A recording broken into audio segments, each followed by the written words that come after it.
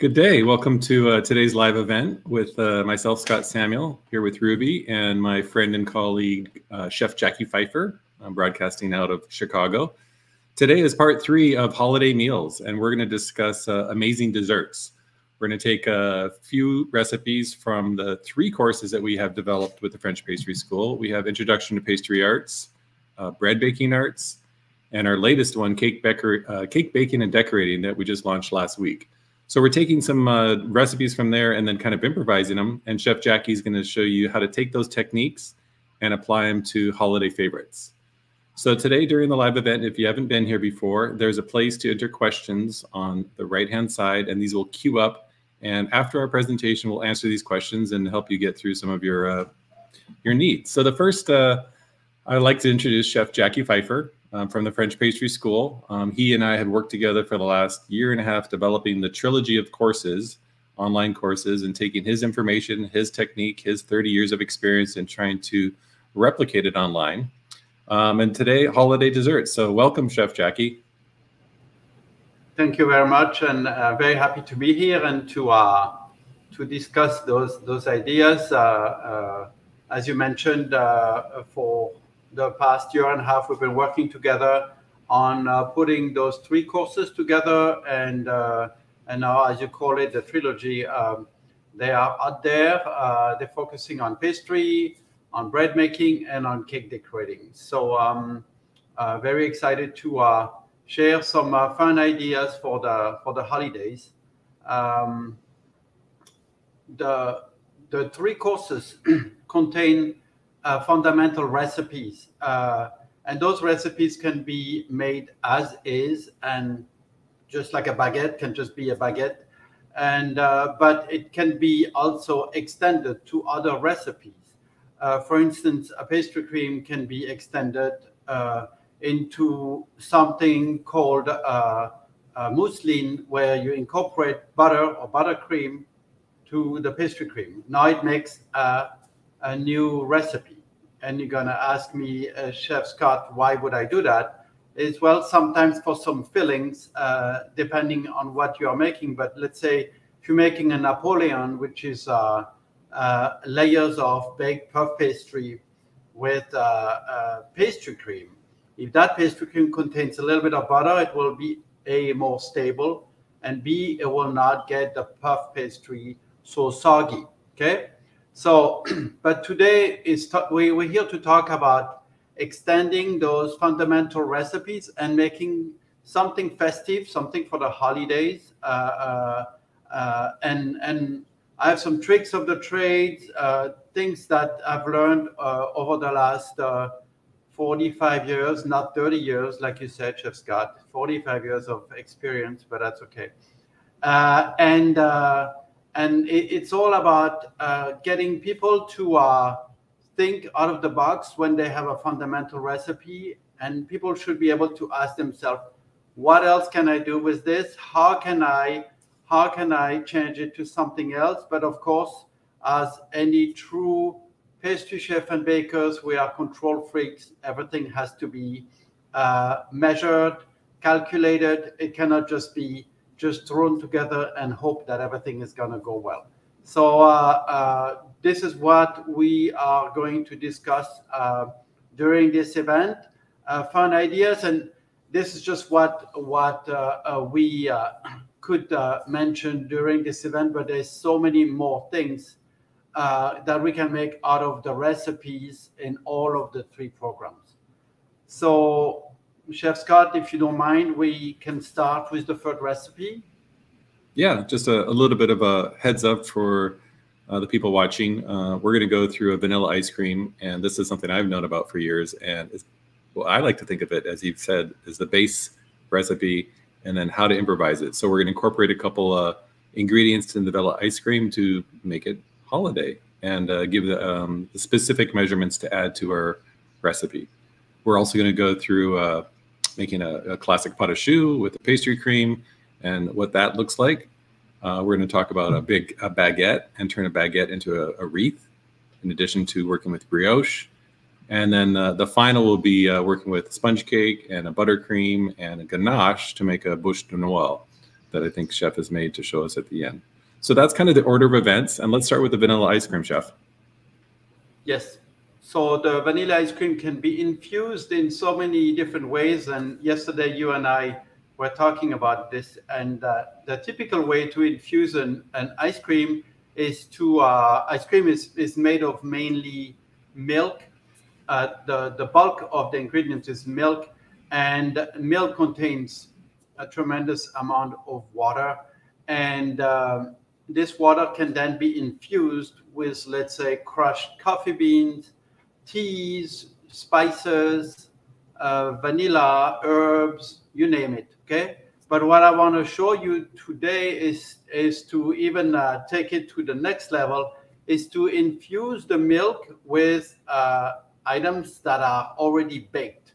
So what I have here for you, and uh, Jeff, if you want to um, um, focus on this, I took some pumpkin and I cooked the pumpkin. At first, I, I peeled it and I uh, I chopped it in cubes. Okay, and uh, some of the cubes I um, candied them in simple syrup. Okay, for about an hour until they become translucent. So not just this is just cubed fresh pumpkin uh, that is cooked in uh, simple syrup. And then after that, I have uh, the same cubes that have been actually cooked in a very, uh, very low oven. We're talking about 175 to 200 Fahrenheit. We're talking about drying, okay? And and so what this is gonna do, this is gonna be like croutons. and uh, what we are going to do with those, with this one, the dried one, we're going, whenever we're gonna cook our ice cream mix, we're gonna throw those dried out cubes of pumpkin in the hot milk. Then we're gonna cool down this mixture uh, and let it rest overnight in a refrigerator, okay? And the next day we are going to, uh, with a blender or uh, an immersion blender, uh, we're going to blend the entire thing. So we're gonna force the those uh, pumpkin uh, pieces that are now softened by the milk. We're going to force them to be completely liquefied. Then we strain this mixture and we churn it in, in the ice cream machine. And then when it comes out, what we're going to do, we're going to incorporate those candied uh, chunks of, of pumpkin. So not only the pumpkin ice cream is going to taste like pumpkin, pumpkin, but it also will have chunks of pumpkin. Okay. Another idea is to do, I did the same thing with gingerbread. So I took the gingerbread um, cake uh, from the bread course, okay? And uh, I, uh, after baking the gingerbread cake, I um, cut those little croutons that are dried in the oven again. Same technique. You want to dry things in the oven so there's no more water in those croutons, okay? Because what if you if you just put fresh uh, gingerbread cake in the ice cream mix, it will still contain water. And that water, if it's if there's too much of it, it will turn into ice and then make this ice cream icy. Okay. So the idea is always to dry out the the cake. And then same thing. I put those dried out croutons in the hot milk and let it sit in the refrigerator overnight until they completely dissolve. Blend it, and strain it and churn this ice cream. And then if you if you feel frisky, uh, Chef Scott, and I know you do during the holidays, you can always fold in more pieces of uh, uh, gingerbread, but this time not dried out, fresh gingerbread, baked gingerbread. Okay, so those are a couple ideas for the holidays. Uh, I know you have some videos you want to show, right? Let's uh let's roll that uh, ice cream video because you kind of talked to that pretty quickly. And I do want to note for everybody on the, the call that there is a, a link to all these recipes uh, and all the other um, events that we're doing for this holiday series. So the first question on the link, you can click that to get this recipe. So the vanilla ice cream recipe, res, uh, we'll show you the video for the technique, but basically what uh, Chef Jacquy went through is you're adding, I think it's 125 grams of either the pumpkin or the gingerbread to the existing recipe that we're providing. Is that correct? Yes. yes. And just one, 125 compared to the whole, the entire weight of the ingredients. Okay, Patrick, let's roll that.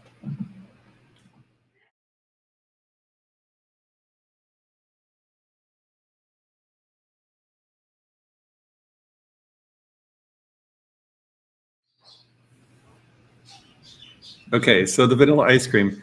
Tell me about the 125 grams to the entire weight. So if I look at the recipe, where do I measure the 125 grams? If, if the recipe is, uh, if the total of the recipe is a thousand grams, you add, you you measure, you add 150 grams of uh, or dried out pumpkin or dried out uh, gingerbread croutons. Okay. Excellent. And that's that's my ratio, but you can you could even put a little bit more if you wanted to. The problem if you put too much, then it gets really dry and uh, and and the ice cream will be um will be too um, greedy, grainy, but in a bad way, you know. So what about uh, you know this is what I've done with ice creams is infusing it like tea. So let's say the gingerbread has the allspice and the clove and the cinnamon, and I could actually yes. add some extra spices when I scald yes. the milk and infuse that extra flavor, correct? Yes, absolutely. You can do that. And uh, I, I, uh, I'm glad you said that because uh, the pumpkin itself, pumpkin itself doesn't really have a huge flavor. Okay. Right. It's by adding the spices to the ice cream mix that you can enhance this. And um, I did add some, um, some uh, uh, cinnamon, ginger, nutmeg, and so on to the to the pumpkin ice cream. I did not have to do that for the gingerbread um, uh, cake ice cream because it's already in the recipe. And while I have you here, I, uh, I made this little presentation. I hope you can see it. I took a, a small pumpkin, of course, emptied it, and uh, I um, I put the ice cream in there, and uh, you can see some croutons, so this is a, a great way to, uh, you can make this way in advance. I made, made that yesterday. It's been sitting in the freezer and, and so you could, you could do that for a party at home and um, um, works really well. Uh, and it's very, very flavorful. Yeah, that looks beautiful. Thank you. Made so, it myself. Yeah. So to be clear with uh, everyone on the call, you're taking the base recipe, adding the 125 grams of the pumpkin, infusing, and then you'll strain it out. Uh, the amount of spices are not really listed, so kind of to your liking for pumpkin spice yes. or gingerbread. All right. Yes, but uh, be very careful with spices because um, too much too much of, uh, of it will just overpower uh, the flavor, like and, and especially cloves cloves and nutmeg are very, very uh, strong spices. So um, at the end of the day, we're, we're trying to make the flavor of the pumpkin mix with the spices to mm-hmm. come out. If you put too much cloves, it, it's just it's just too much, and then you you just you just don't taste anything anymore. Right, totally true. So yeah. I just have to throw in one more thing. I like to use like woody herbs during the, the season and throw some bay leaf in there, and some yeah. rosemary, and maybe even a little bit of thyme to actually accent the, the flavor of the holiday. So let's you move on to the, the next one. We're going to be talking about the choquette with yes. the pastry cream. What we call those cream puffs in America? Well, in French, they're not called choquette, uh, but that's your French lesson of the day It's chouquette. Okay. Chouquette. Chou, pâte à choux is the is the French term for uh, choux paste, and then chouquette is a small it's a small cream puff, and it's just a cute it's just a cute term for uh, for a cream cream uh, puff. You know the French they all, they always like to give names cute names to things, right? Yep. All right, so let's take a look at this and uh, the pastry cream, which is another uh, base recipe that I've known for years that we're going to infuse in this case with vanilla, correct?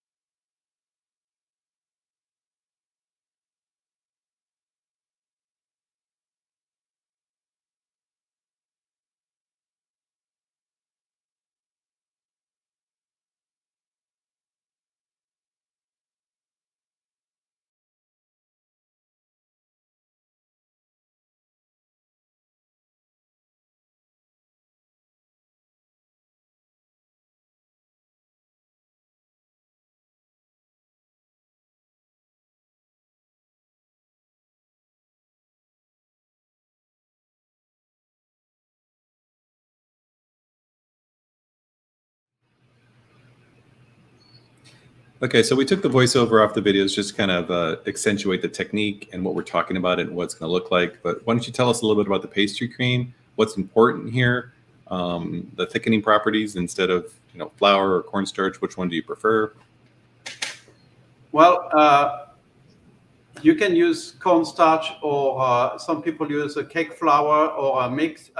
Uh, uh, using only cake flour would make uh, the pastry cream uh, rubbery because of the gluten in the in the cake flour.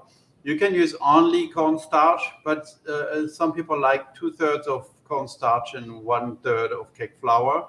Um, either or, okay, that works really well. But as as uh, we saw the video, the video in the video we see that this pastry cream is infused with vanilla but we could infuse it with herbs. Uh, I know you're gonna say rosemary, but we're not gonna do that this time. Not not rosemary on everything, Chef Scott. And um, spices, uh, you can definitely add spices to that and uh, make uh, cinnamon uh, pastry cream or uh, or cinnamon nutmeg and so on. that works really really well for this for this little project that we're gonna show.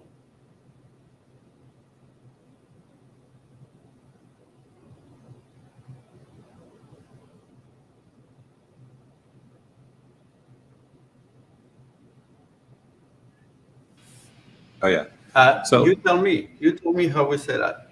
All right. So let's go to the video. I want to show you what uh, can be made with the, the, the cream puffs. Okay. All right.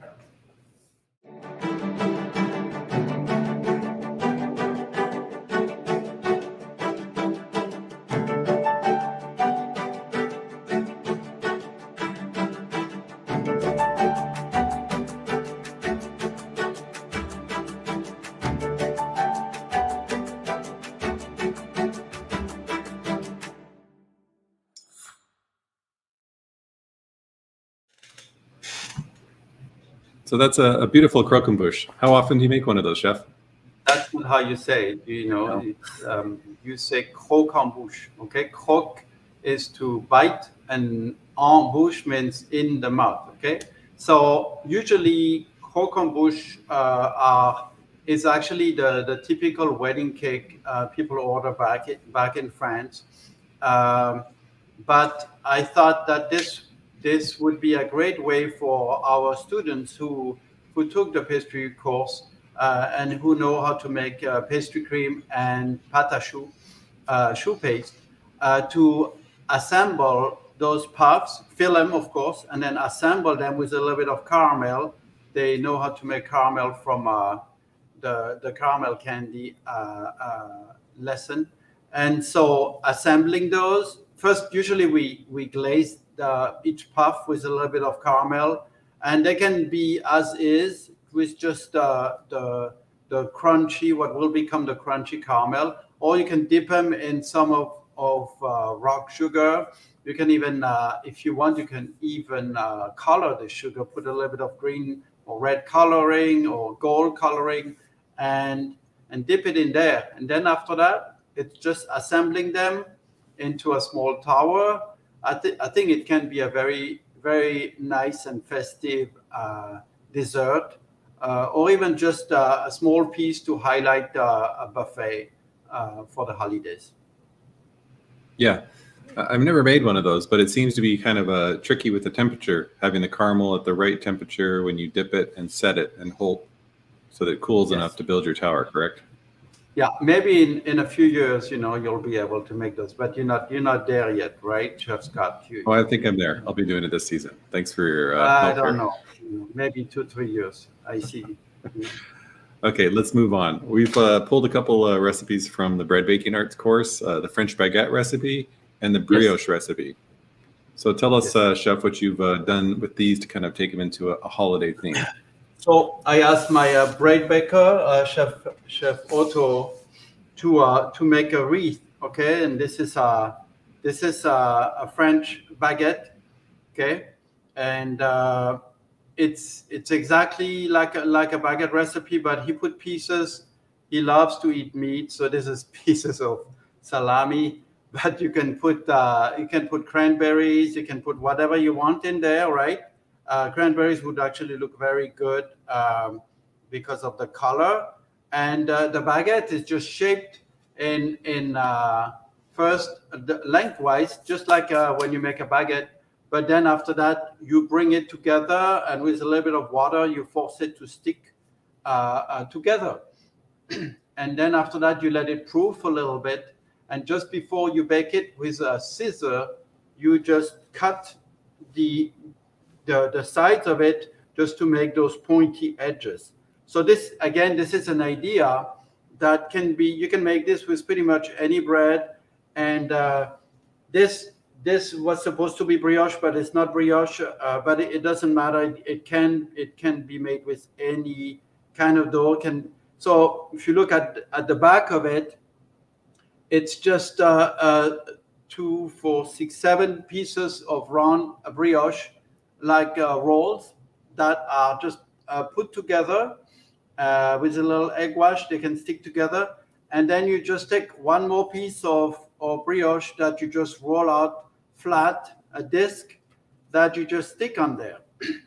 and during the baking, it that flat piece actually uh, rises up and, and makes it look like a crown, okay?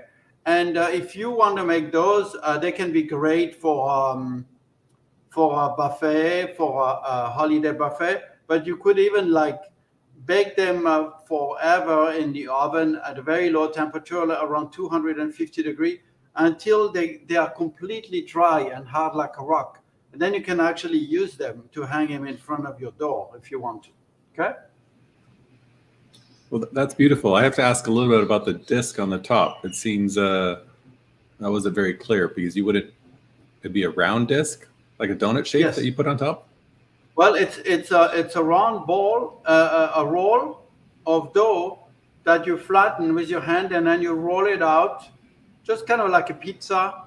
Okay. And then you stick it you stick it on those seven rounds of dough, and then you proof it like this. Okay. Yeah, that's beautiful. No problem.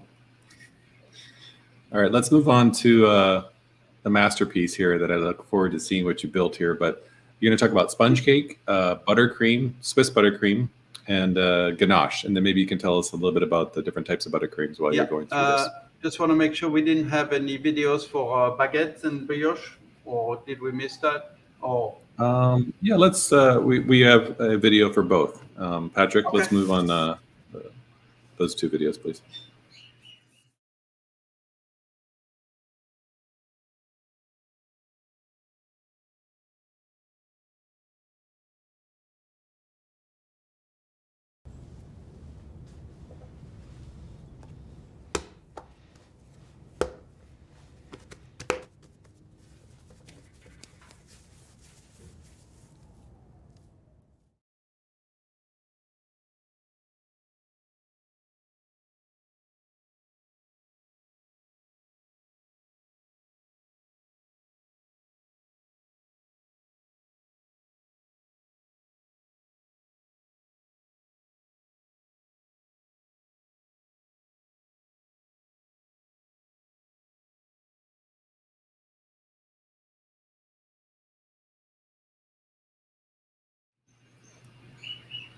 Okay, so those are just snippets of uh, the many videos that are within the bread baking course. Uh, the baguette, which we just took the base recipe and turned into a wreath, and the brioche, which I think you said you used a different bread for that other um, wreath, yeah, correct? but you can do it with brioche. It's not a problem. Huh?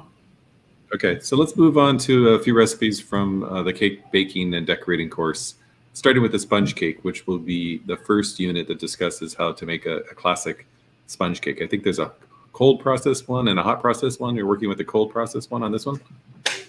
Uh, actually, none none of those two. Uh, uh, I mean, you can you can make this uh, uh, any any way you want to.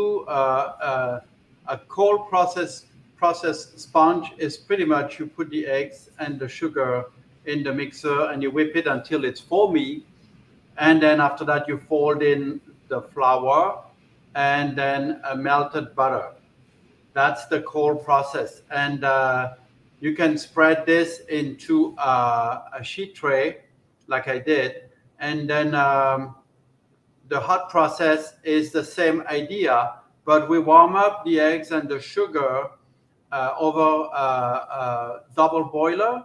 And the reason why we do that is that we, we warm it enough that the eggs start to coagulate slightly and it's going to make that foam more stable. Okay, that's the big difference between both and but both of them work. You don't have you don't have to worry about that. And we have a third cake uh, recipe, which is uh, uh, it's called American uh, sponge, and it, it's pretty much it contains milk, and uh, it's uh, it's a sponge that that I, I, love it because it's really fail proof, and it, it's it's a completely different way to um, to mix it. You put actually first the dry ingredients in the mixer and then you add the soft butter.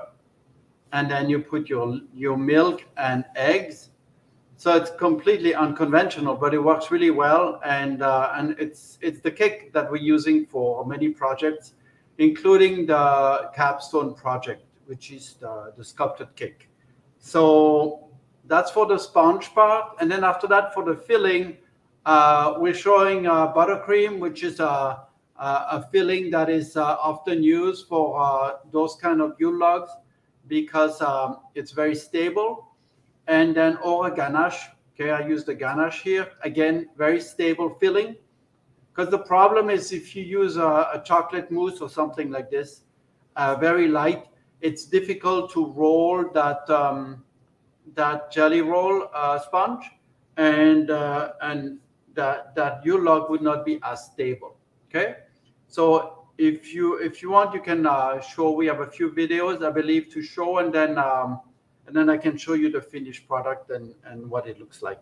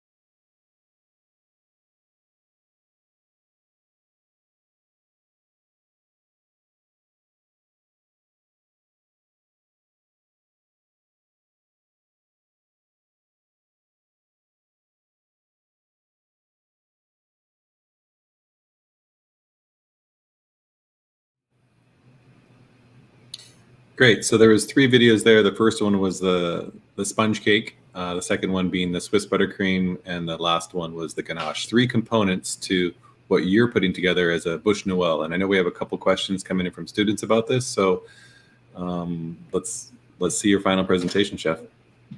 Yes. So the final presentation is right here. I here in the front. Uh, there is uh, you uh, i'm removing this so you this is just a piece of chocolate. So you can see the way it was rolled and usually we cover it.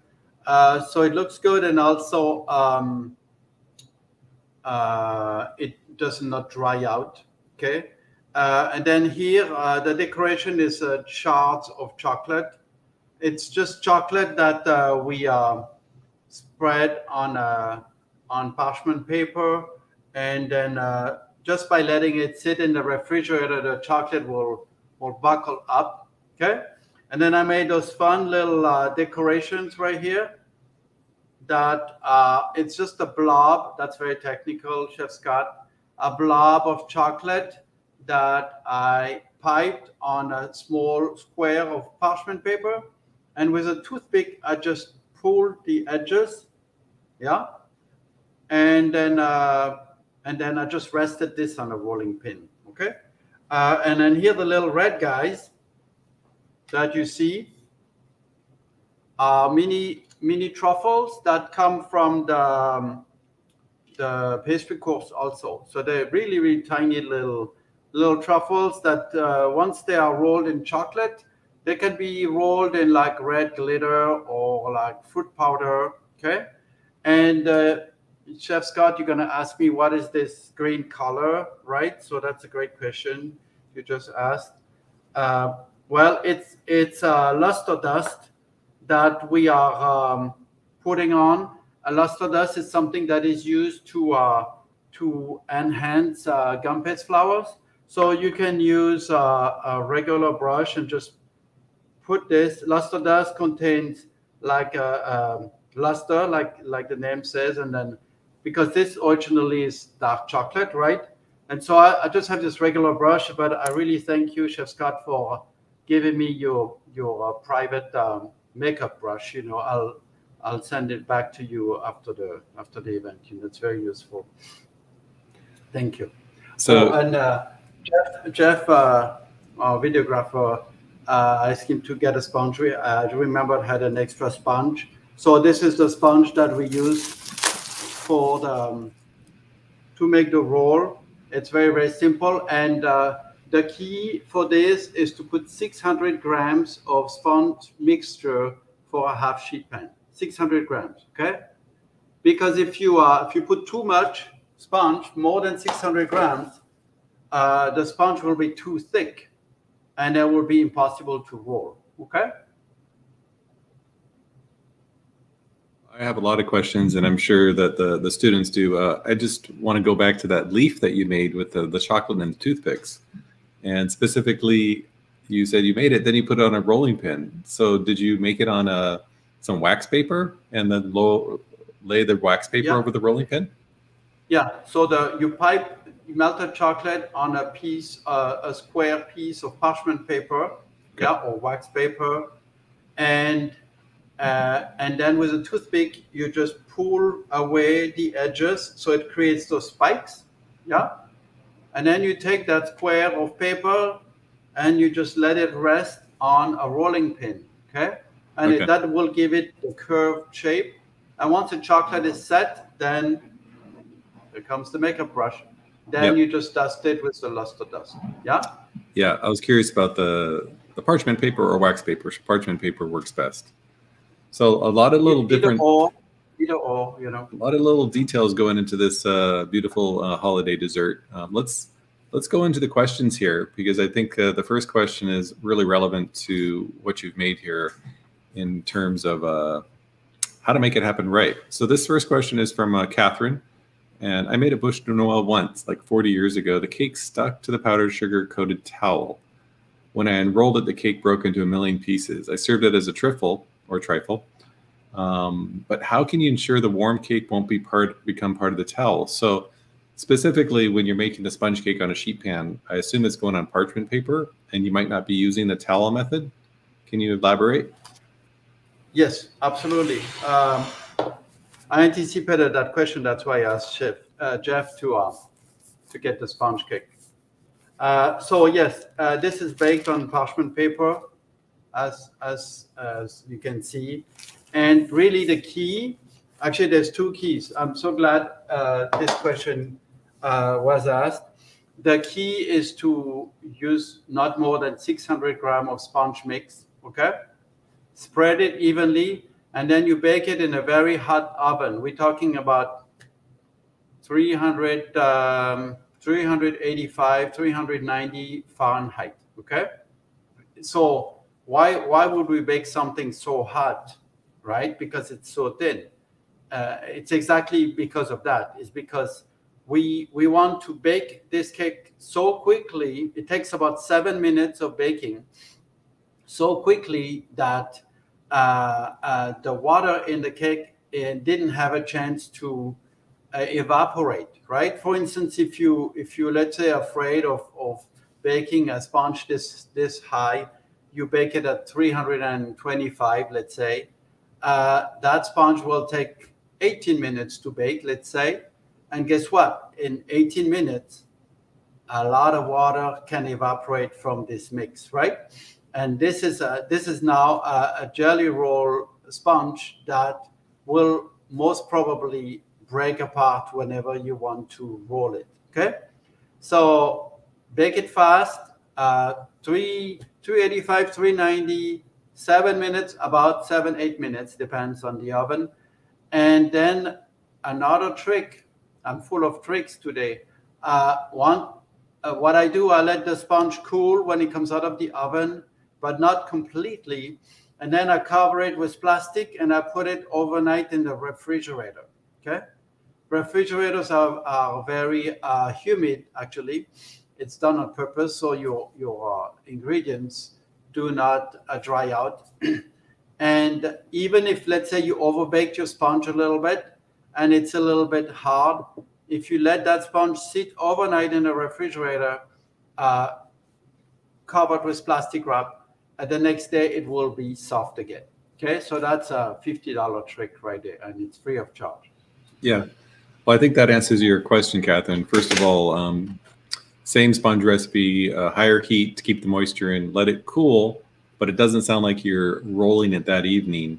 Uh, you're going to cover it in plastic wrap and let it cool in the refrigerator. So the next day it's malleable and there's still enough moisture for you to pull it off the, the parchment paper and roll it, right? Absolutely. Just wanted to clarify that. Okay, let's go to the next question, um, Chef. This is from Sherry. Uh, nice to meet you, Chef. I'm very excited to hear and see how you make these recipes. I've always wanted to make a bûche de Noël. I have celiacs and dairy allergies. How could I make this to accompany my allergies? So, you love these questions, Chef. Um, how would you make the the sponge without any gluten and the buttercream without any dairy? Yeah, well, the buttercream without dairy that's a that's easy. Um, uh, you can just use, uh, my favorite is usually, um, um, uh, what are making buttercream, you said? kind of keeping the dairy and uh, the gluten out of this uh, recipe. Well, yeah, if you if you want to make a ganache, uh, my favorite is or almond milk, almond milk, and or oat milk. I really like oat milk. it has a nice taste, and um, and then uh, there's butter in the ganache. You can just put vegan butter, so that should be easy.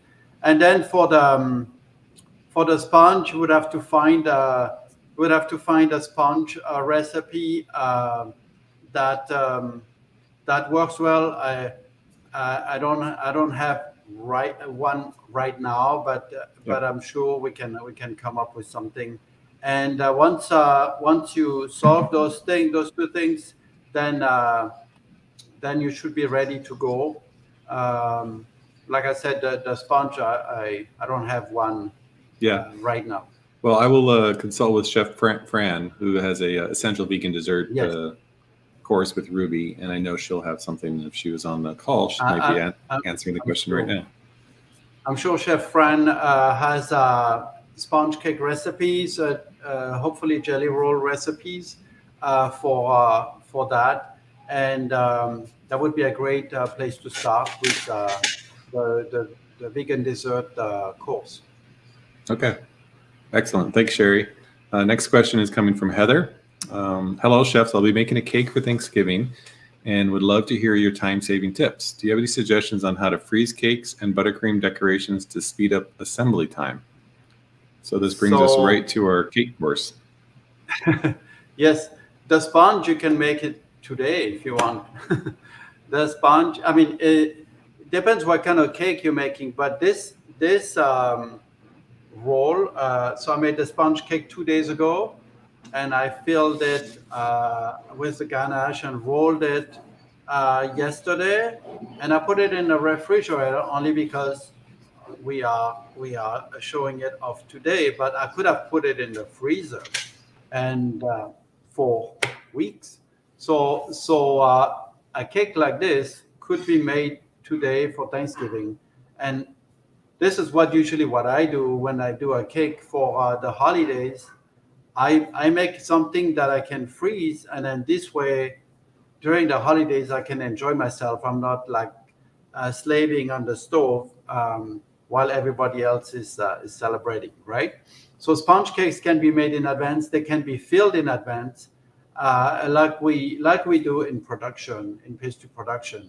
Uh, uh, it's there's no absolutely no problem of freezing a cake that is filled with mousse or buttercream or ganache have it have it ready you could even completely have it completely decorated and have it sitting in the freezer then to defrost it the best is to what i like is to take it from the freezer and transfer it in the refrigerator the day before the event this way the the cake can defrost slowly and will not be built with, uh, with con- uh, covered with con- condensation because condensation happens when you take something out of the freezer to room temperature. That's that's the mistake.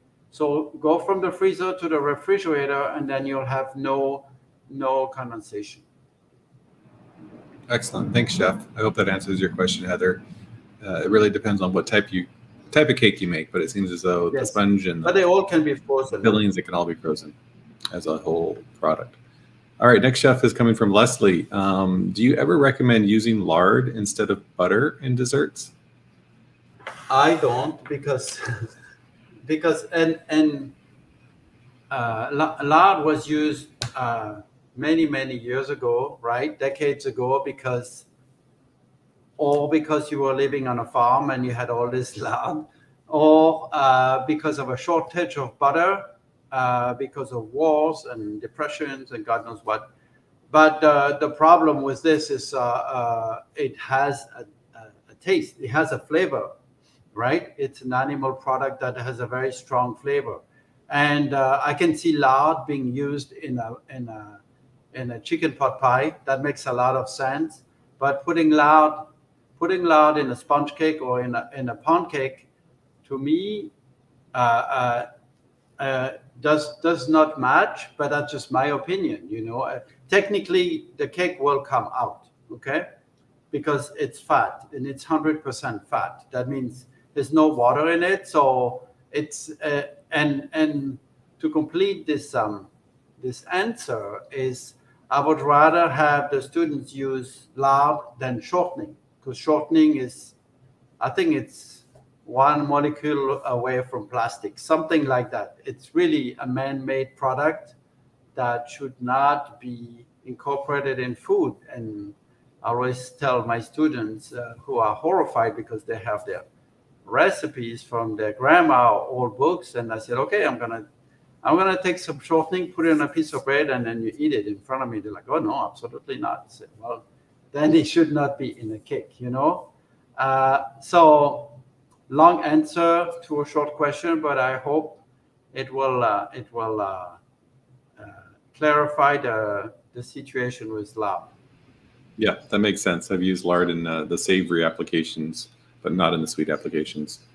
And uh, I did try my old great grandmother's uh, pie recipe that had half Crisco and half butter, and that's the last time I've used Crisco. It didn't have the same flavor, texture, and all that.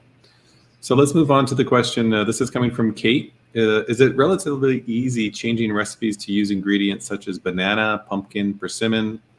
Uh, what would we want to think about uh, to do these changes? So you presented pumpkin, which you did a little bit of a drying out to. You presented the, the gingerbread cake. Um, what if I wanted to do persimmon or banana? What would I do to think? You know, same measurement, 125 grams. Would I do anything specific to those ingredients? Yes, and I love this question because um, because uh, uh, I wanted to mention that too. Uh, our, our idea that we're presenting right now for this event is about holidays.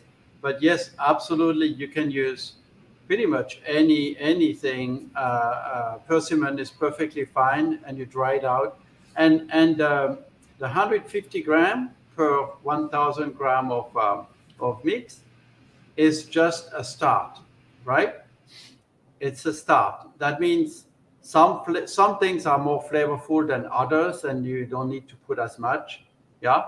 Uh, and also yesterday, Chef Scott, you and I talked about the adding a baked component like the the gingerbread cake, throwing pieces of of old, not old, but dried out gingerbread cakes uh, in an ice cream mix is something you can do with a chocolate chip cookie, uh, brownies, you name it. Uh, you can uh, you can throw those things in an ice cream mix, and now you're having you're making brownie ice cream, and it will have the taste of baked brownies or baked chocolate chip. Okay, so the answer again, a long answer to a to a short question. Yes, you can actually use uh, uh, persimmon, banana. I would dry it out too. Uh, that works very well. again, we're drying out things uh, because we don't want uh, put fresh banana in my ice cream because uh, banana contains about 75% water. And now I'm adding a lot of a lot more water that I should in my ice cream mix, and it might get icy. Okay, so drying out those vegetables or those fruit are, are a great way to uh, enhance an ice cream, uh, but we're not adding water. Okay. Thanks, Chef. Uh, Kate, you gave me a great idea with persimmon. Um, I haven't made uh, the Japanese dried, dried persimmon for a while, but I think I want to make that, make a persimmon puree, and then dice the dried persimmon and fold that into it. Just getting creative here. Uh, so next uh, question is not a question. It comes from Janelle. Janelle is taking uh, some of our courses. Thank you for these terrific live events. And I enjoyed the Intro to Pastry Arts course. I enjoyed so, I learned so much. Last week, I started the Cake, Baking, and Decorating Arts course and loved the first five modules I've done thus far. Happy Thanksgiving. So thanks, Janelle, for the compliments. Um, it is a thank you. It is a, a passion of ours to put these together. Um, next question is from Natalie. Uh, bonjour, uh, the Istanbul chef. Thank you for sharing your knowledge. Is it possible to make vegan eclairs? Sure.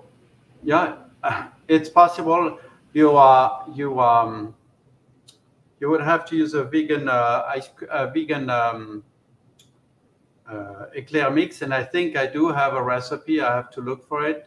Uh, uh, Chef Fran um, probably has one too. Okay, but uh, the the answer is yes, definitely you can make vegan um, pâte à choux and then after that, the filling can also easily be made vegan. So the answer is yes and yes. Thank you. All right, a couple more questions here. This is coming from uh, Catherine. I think we answered your question already, but let's say, uh, how do you roll the sponge without cracking or breaking it? So we talked a little yeah. bit about the moisture and the high heat and the overnight wrapping. Is there anything else, Chef, you want to mention about rolling it without cracking or breaking it?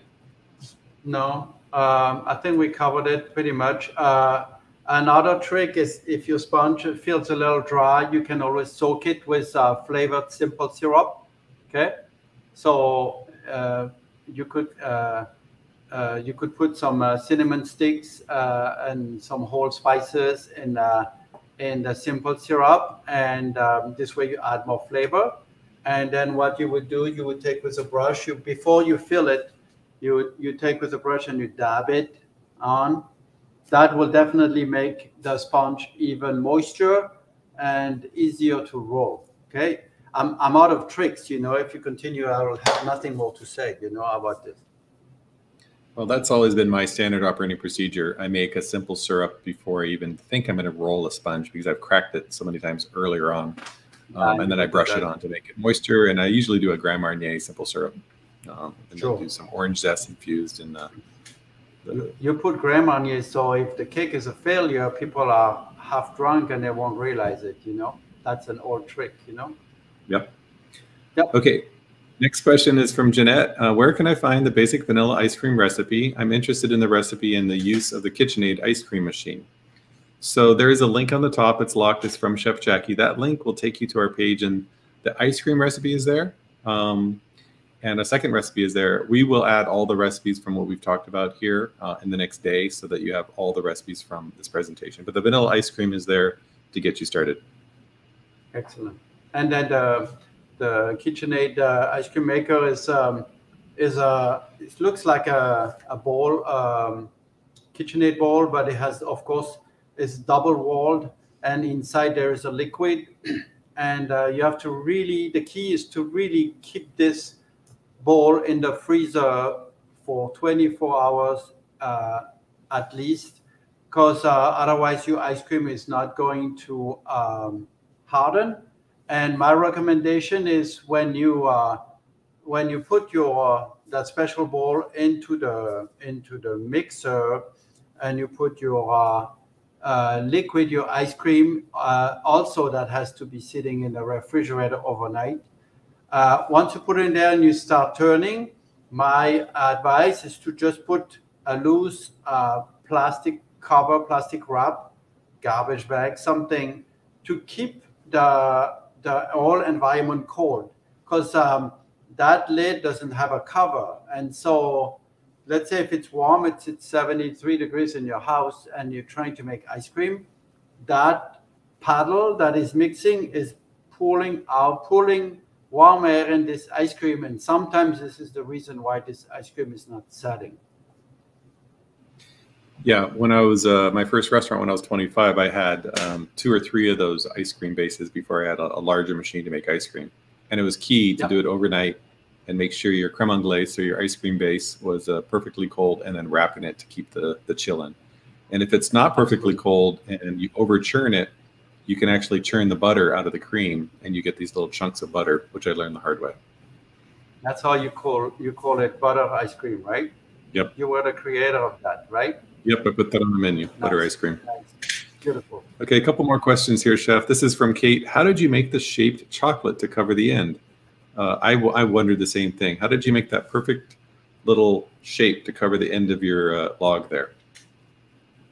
Well, this is um, I uh, in the truffle uh, recipe uh, from the pastry course. We have a small section on how to temper chocolate, and uh, so what you do, you do um, you take some of that chocolate, that liquid chocolate, and you pour it onto uh, let's say uh, six inch by six inch uh, parchment paper or wax paper, and you just uh, spread it so it's nice and thin.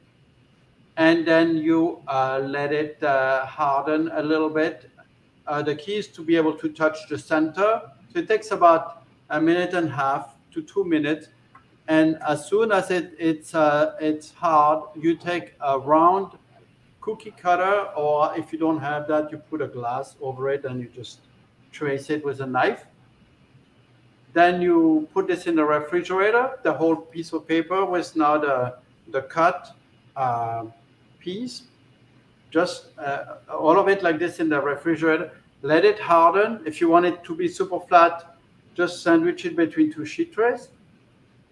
And once it's hard, then you uh, you take a knife that you run under very hot water and you just cut the edge that you don't want. And so it fits nicely on here. Et voila that is some detail. Um, and i'm going to have to ask the question on all the pieces of bark on the outside i'd assume that you took parchment paper and wrapped it on a long rolling pin and then painted the chocolate on and then broke it into random pieces no, you would you would, you would think that it's it's not like that, but it's okay. It's a good try. Uh, so the way we do this is uh, imagine this is a piece of parchment paper. Yeah, you uh, you spread some uh, chocolate on it, like very thin, and then you let it you let it harden. Just again, it takes about two minutes, and then you put another piece of parchment paper on it and then you roll it uh, around a rolling pin. Put a piece of tape, and then you put it in a cold place uh, for a couple hours. Yeah, and then uh, the next day or whenever, after, once it's hard, you unroll it. And just by unrolling it, you get those round, roundish shards Yeah, that looks great. Now It looks like you te- you tempered the chocolate perfectly too. I like that sheen. Yeah, you know, I got lucky, you know. Oh no, you're a professional with 45 years of experience. Thank you. All right, a couple more questions here. Um, this is for from Vopot. Hello, chef. Um, what do you do to make fruit carpaccio with syrup and chocolate chantilly with only exotic fruits such as mango, uh, kiwi, papaya? Uh, that taste and look amazing. Thank you, chef. So I think it's uh, making a fruit carpaccio with such ripe fruits like mango and kiwi and papaya that might be hard to slice quite thin. I can, can picture I can picture the question, but I think it's uh, that she only has exotic fruits. So, how do you make a carpaccio? Or, or Well, you know, I, the question is, how would you make the fruit carpaccio? And I think it would be, um, I might freeze the fruits and slice them on a slicer. Um, yeah, yeah, yeah. That's the only. I, I agree. For once, I agree with you. Uh, uh, uh, you can. Uh, hmm. you're definitely gonna have to put the fruit, the different fruit, uh, together in some kind of a container. It could be a loaf pan or something, and, and really freeze it. And then after that, uh, use a meat slicer or a mandolin. Yep. Uh, to cut some very very thin slices, and then after that, right away put it on uh, on a plate. But uh, since pastry chefs are control freaks, what I would do, I would add. Um, so let's say you have the fruit. Let's just keep it simple. You have fruit, and you have. Uh, we'll, we'll put let's say uh, 15% of sugar com- compared to the fruit. So if you have 100 grams of fruit, you add 15 grams of sugar. And then what I would do, I would add a little bit of gelatin or pectin, a very small amount, one or two percent of the total weight. And uh, what this will do, and then you mix it together, and then you press it in your whatever you mold, freeze it, okay? And that little bit of of pectin or gelatin will keep it from falling apart right after you slice it. You see? that's not and then uh, you'll have enough time to put it on a plate and then um, and then uh, create your fruit carpaccio Yeah, that's what I was going to say. Thank you, chef. so we have a question here from Parik. It's uh, do you have any substitute for eggs in a sponge cake recipe? That is a trick question. that's a question for chef fran you know Yeah. uh, it it of course you you can you can uh, make sponge cake with without eggs but it's it takes a it takes a village as they say right and it takes a village to make it taste really good and and have the same properties as um, as a, a, a regular uh, a recipe Yeah. uh, uh, yesterday we were filming some new recipes and we were making uh, I think it's a vegan and gluten-free bread, uh, and um, and we we have to put so many ingredients, uh, a little bit of this, a little bit of that, just just to mimic the um, the the same reaction gluten or wheat would have, you know. So everything is possible. It just really is a, a, a specialty specialty on, on its own, and I, I think Chef Fran from the, the vegan dessert course would be uh, would be able to uh, to answer this question very well. Okay. Well, we did the best we can on egg substitution. Uh, I don't want to make things up, you know, uh, uh, because because uh, it's not really helping. Yeah. All right, a couple of questions from Catherine. With the brioche wreath you demonstrated for the crown, uh, it was rolled flat, but did you cut a hole in the middle like a donut before adding it to the rolls? And I kind of had the same question because when I saw it, it didn't seem like there was any center. So it feels like you made a donut-shaped ring before you put it on the Well, rolls. you you make the seven the seven uh, rolls of brioche or bread, right? And if you want, what you can do, you can uh, you can uh, place them on a sheet tray to be uh, to proof, right? To rise. But if you want, you can put a glass or something right here in between. Uh, that's all I have right now. So it actually fits. so it, it's preventing the it's preventing the dough to uh, move towards the center as it is uh, rising. Yeah. So mm-hmm. you can do that. You know, you can put something in the center and then build. And of course, this glass would have to be greased. You know, just so it comes out nicely, easily. Uh, nothing sticks to it. But that would be a way to um, to make this uh, this crown bread. Okay. Yep. I think it looks like it was cut into a donut. So, uh, uh, Catherine, no, no. We're trying to visually understand here, Chef. It's okay. All right. Uh, from Catherine, based on the communication we gave on the bûche Noël earlier on, Chef Jacquy, thank you so much. I think I'll try it again. Priceless information. Thank uh, you. Last question from Diana. Can you go over the filling for the cake? Is the outside just dark chocolate? Also, any tips on being successful in the rolling process? Uh, any chance you can demonstrate one uh, with the one he has? Well, in terms of rolling the, the sponge, that takes some time. But what about the filling for the cake? I think uh, Swiss uh, buttercream. Anything you want to say about the Swiss it, buttercream? It, it, can be it can be uh, can be Swiss buttercream, and you just spread it. Uh, you spread it buttercream or ganache, you know, and then you roll it. It it's um, the key is to not to not put too much filling Okay, otherwise, when you try to roll it, you're just like swimming in filling. Okay, uh, uh, and then I have uh, another fifty dollar trick uh, for you uh, when it comes to. So what I do usually, I fill it. Okay, I fill my log, my uh, my sponge cake.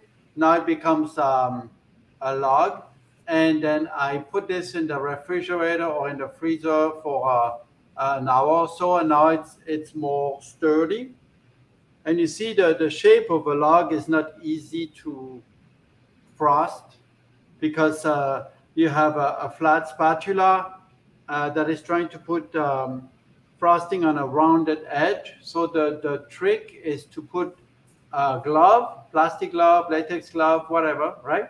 And what you do, you take the frosting in your hand and then you just shape your hand like this and then you go a couple times like this and then uh, and you can uh, frost one of those Yule logs in no time. And that's a trick that I learned in places where we had to make thousands of Yule logs, and we had to figure out a way to to go, yeah. go much much faster. You know.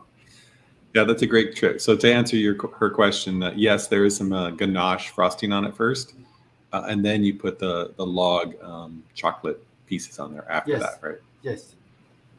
Okay. Well, that concludes the questions for the day. Um, I just want to let everybody know that link on the top will give you a couple of the recipes. We will add the rest of the recipes here. Uh, this is part three of a larger series. We have more coming up um, next week. Uh, we hope you can join us. And thank you, Chef Jacquy, for a very enjoyable, informative uh, holiday dessert live event. Enjoy your day. Uh, thank you for having me, and, and I hope uh, our students and our viewers are going to be able to uh, make some fun uh, fun recipes, and hopefully we can even see some of the results. Excellent. Thank you. Thank you.